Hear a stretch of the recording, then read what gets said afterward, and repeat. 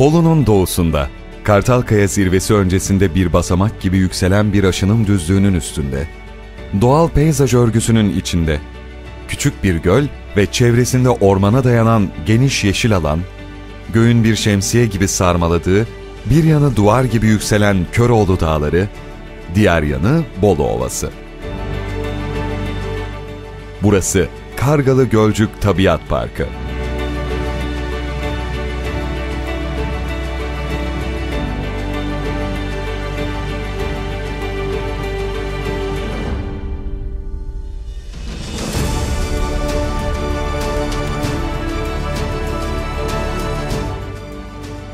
Göknarları birer bilezik gibi çevreleyen ardıçların yarattığı doğal peyzaj içinde çadırlı kamp, serin göl kıyısında sıcak sohbetin bıraktığı tat farklıdır.